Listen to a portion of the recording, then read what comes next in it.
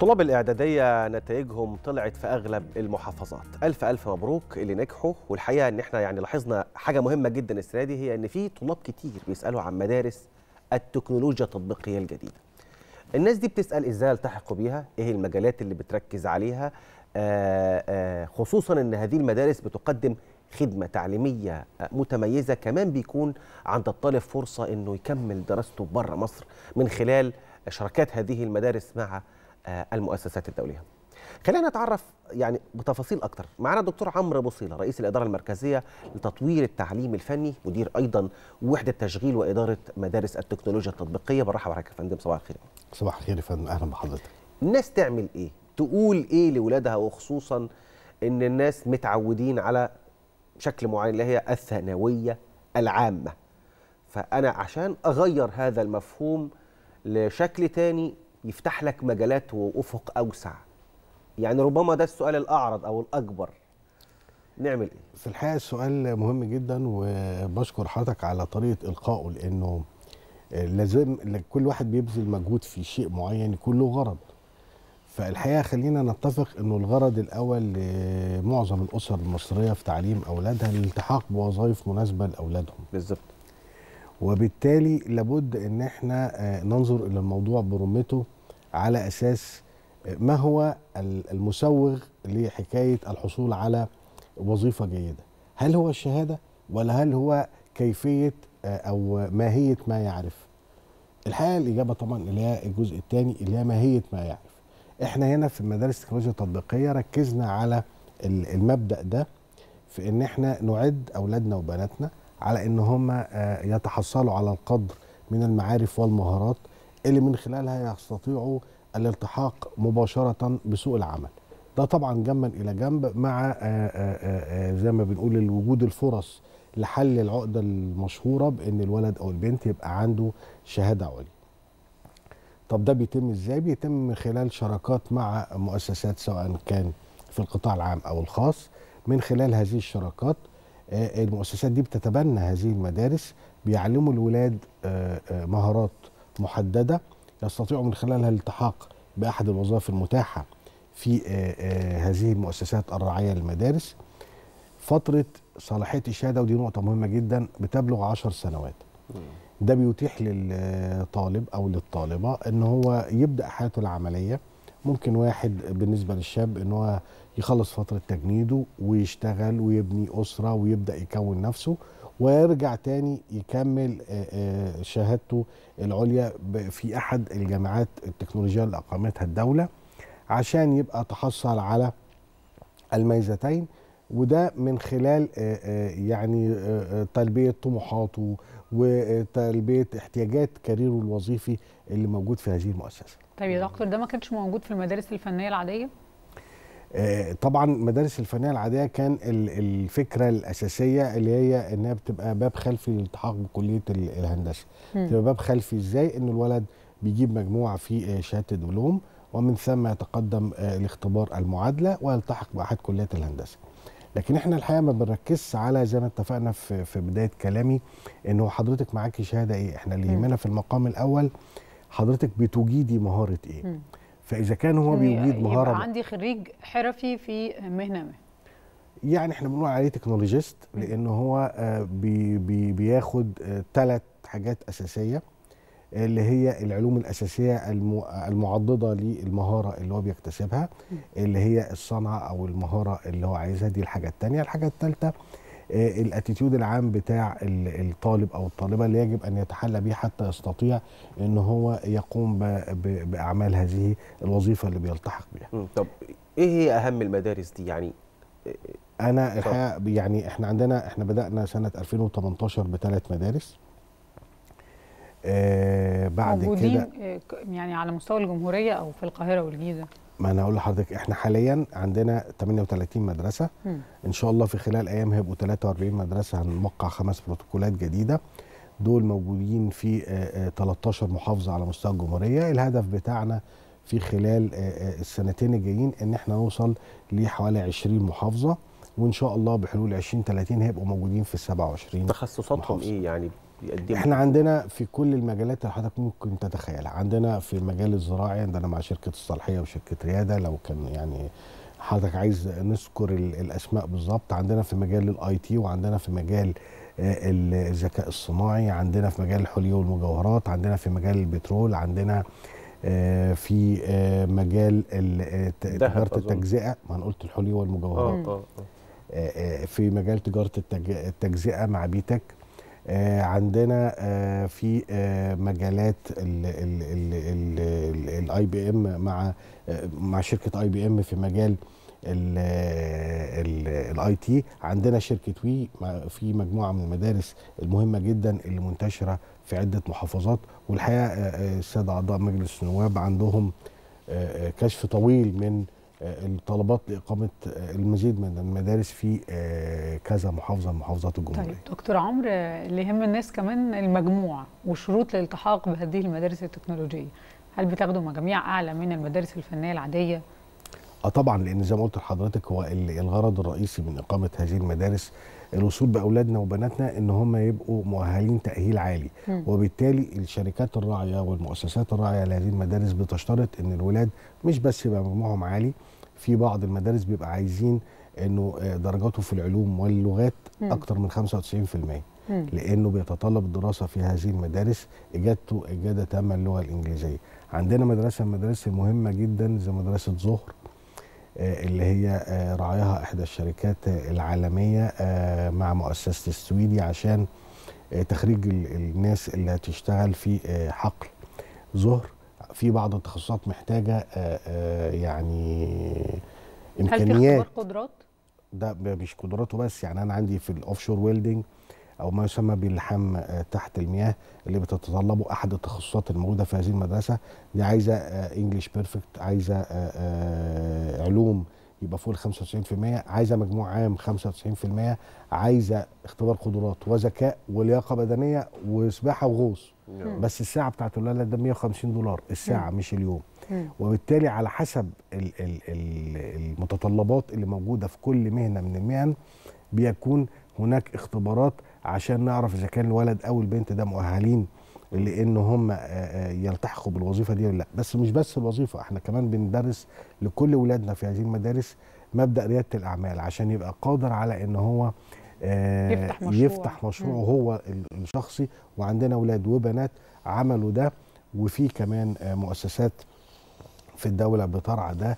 ومشروعات زي شيليدز وغيرها اللي بترعى الفتيات لأن هم يعملوا مشروعات طب المصاريف يا دكتور بتاع هذه المدارس؟ المدارس دي مدارس مجانية بالكامل آه، بدون أي مصاريف إضافية غير المصاريف الحكومية اللي في أي مدرسة حكومية أخرى. طب إزاي يقدر ده يخلي الطالب يطلع بره يكمل دراسته الجامعية في أحد ال- الجامعات الأوروبية أو الأمريكية؟ هو ال ال ال إحنا عندنا آه، الأول في آه، شهادة اعتماد دولية عشان الولد أو البنت يقدر يعني متعادلة جاهزة. متعادلة جاهزة في عشان يخش سوق العمل سواء المحلي أو الدولي. إحنا عاملين شراكات مع إيطاليا وألمانيا وقريبا مع فنلندا ودول أخرى آه، من الاتحاد الأوروبي فضلا على الصين واليابان قريبا بإذن الله. وطبعا ده بيسري على جميع الدول العربية. هي المدارس ثلاث سنين أو خمس سنين يا دكتور الثلاثه فن يعني إحنا عندنا خريجين خلاص إحنا 20 عندنا أول دفعة خريجين دفعة. السنة اللي فاتت. السنة دي إن شاء الله تاني دفعة. نسبة التوظيف بتاعتنا آه، 95% لأن في آه، آه، جزء بيحب إن هو يستكمل دراسته النظرية بعيدا خالص عن سوق العمل. ده برضو اوبشن موجود. آه، إنما الحقيقة عشان ردا على السؤال اللي سيادتك سألته إحنا آه، حاليا بنعمل شراكات مع الجامعات التكنولوجية المصرية عشان تؤهل ولادنا بعد كده إنها تستكمل دراستها. بس الأساس في المدارس دي إن هو يلتحق بسوق العمل. من خلال التحقه بسوق العمل والمعادلة الدولية اللي إحنا بنعملها لاولادنا وبناتنا بيلتحق بسوق العمل لو التحق بفرصة من الفرص المتاحة ليه في ألمانيا مثلا أو في إيطاليا مم. بيستطيع إن هو يجمع ما بين. الحسنيين آه، ان يقدر هو يكمل تعليمه. تعليمه في أحد الجامعات اللي هناك بالإضافة لعمله وزي ما بنقول قدرته على إن هو يكسب آه، آه، عيشته وقوت يومه. يعني بتشترط صحيح أنا شايف إن الإيطالي والألماني يعني ربما لغات مهمة تحديدا في إحنا عندنا ليه الإيطالي والالماني يعني الإنجليزي عارفين الفرنسي عارفين ليه الإيطالي والالماني لأنه إحنا عندنا شراكات متعددة مع كلا البلدين. في نظم التعليم إحنا عندنا الدومبوسكو طبعا آه، حاجة قديمة جدا في مصر. طبعا وعندنا حاليا ال- التعاون مع الجانب الألماني اللي هو الأكثر تقدما في مجال آه، التعليم. التقني والفني. صحيح. وزي ما حضرتك تعلم إن ألمانيا كقوة اقتصادية ثالثة على مستوى العالم. بيقوم ال- النهضة الاقتصادية بتاعتها أساسا على التعليم الفني والتكنولوجي. طب فهمنا الألماني الإيطالي الإيطالي ما بقول عشان لحضرتك حقل ظهر لشركه Eni وكده؟ مش بس حقل ظهر إحنا كمان عندنا تعاون معاهم كبير آه، من خلال آه، ال- القنوات الأساسية بتاعتهم سواء كان في التعليم التقني الخاص بالدون بوسكو أو مع وزارة آه، التعليم الإيطالية عشان ولادنا يلتحقوا لأنه في مشروعات لأن هو ال- الدولة كلها بتعمل مع بعض في سياسة فيها تناغم وتناسق سواء مع وزارة التعليم العالي أو وزارة العمل أو وزارة الهجرة. ده خلانا نعمل آه، مجموعة من الاتفاقات لإلحاق أوائل ولادنا اللي بيكونوا مميزين في هذه اللغات بالإضافة للصناعات اللي محتاجاها هذه آه، ال- ال- الدول في إنهم يلتحقوا مباشرة بفرصة عمل واعدة في الأسواق سواء ال- الألمانية أو الإيطالية. وبالتالي إحنا آه، عاملين معاهم اتفاقات لتصدير ال- اللي هينجحوا في الاختبارات لهذه الدول فده. المدرسة بتوفر مساله تعليم اللغات يعني لو هو عنده طبعاً، لغة. إنجليزية هل في وأنا جوه المدرسة أتعلم إيطالي أو ألماني ده اوبليجاتوري ده, ده ده لازم يكون موجود يختار لغة آه، يعني. يعني آه آه، فيها نوع من أنواع الإلزام مم. على الولد في بعض المدارس طبقا لنوعية ال- ال- الدراسة اللي فيها والشركة الراعية إن هو بيتعلم بالإضافة للغة الإنجليزية لغة تانية سواء كان الالمانيه أو الايطاليه وعندي كمان لغة صينية في بعض المدارس ان إحنا عندنا كمان شراكات مهمة جدا مع الجانب الصيني. طب يعني عموما أنا شايف إن المدارس رايحة ناحية كليات الهندسة أو علوم الهندسة بكافة فروعها. هل في تخصصات تانية ولا؟ طبعا عايز أقول لحضرتك في عندنا في مجال إنتاج الأجبان آه، شركة رائدة في مجال إنتاج الأجبان. الزراعي آه في الزراعي وعندنا شركة الصالحية عندنا B.TECH في مجال التجزئة لأنه ما عادش النهارده ال- ال- ال- الخريج التقليدي إحنا طورنا التعليم التجاري عشان يلبي التخصصات الجديدة الموجودة في السوق اللي هو مم. ال marketing وال sales والحاجات اللي حضرتك بتسمع عنها مفيش داعي اطلاقا للاستعانة بواحد ضيع آه، من عمره أربع سنوات في دراسة آه، كلية تجارة وغيرها عشان آه، آه، يصل لنفس المستوى اللي إحنا نقدر صحيح. نوصل بيه ولادنا في خلال ثلاث سنوات يبقى متخصص في مجال معين.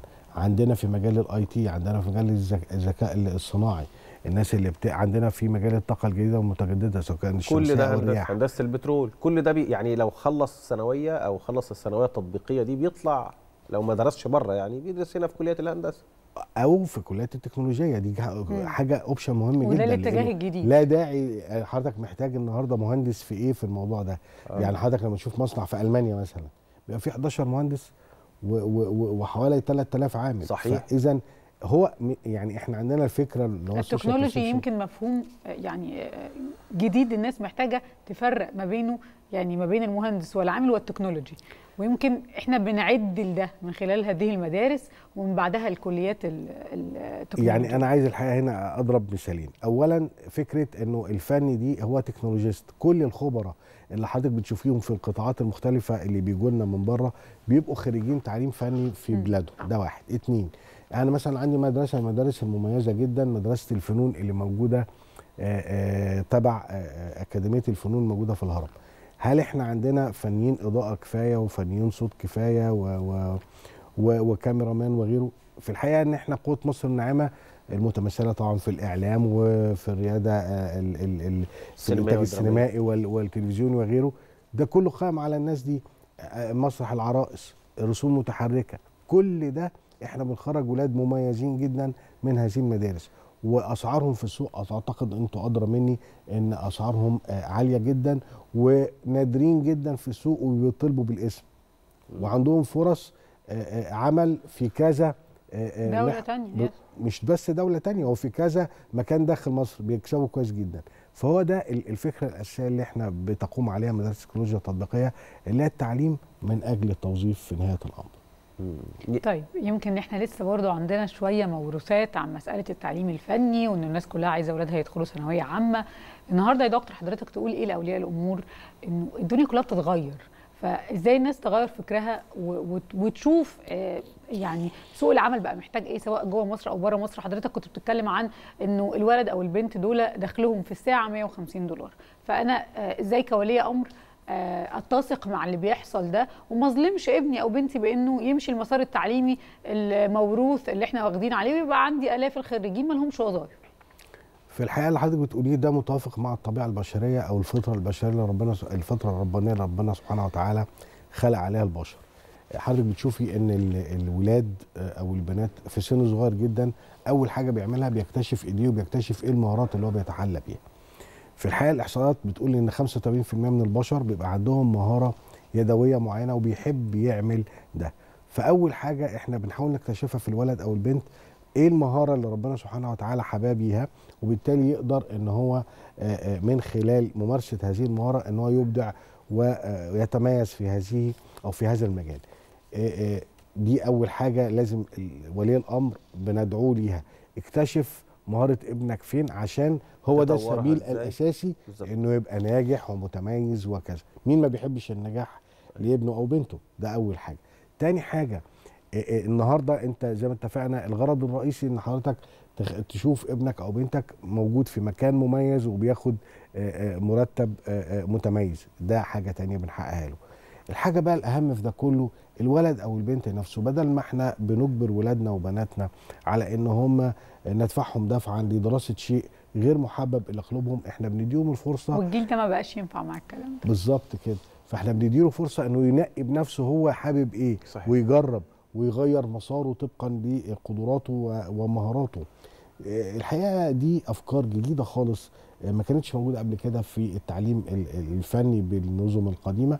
إحنا أيوة. عارفين طبعا إن هو لسه ما وصلش للمرحلة اللي إحنا صحيح. عايزينها لكن إحنا في الطريق لكنها. بذرة صحيح مهمة جدا بالظبط ال ال القصد يعني أو ال الأهم إن ال- المدارس التطبيقية يا جماعة فكرة مهمة نشأت في مصر ورعتها عدد من الشركات لتخريج كوادر خاصة بيها آه، يعني مدارس تطبيقية للبترول للذهب للمنتجات آه، الزراعية وانتشرت عمالة تنتشر في كل آه، آه، ربوع مصر. ال- الفكرة هايلة آه، بتؤهل سريعا الخريج إن هو يشتغل ويكتسب مهارات معينة. ومش بتأهله بس لكده ده بتأهله كمان للدراسة الجامعية في تخصصات نادرة جدا ومنح دراسية في جامعات أوروبية معتمدة لهذا الأمر.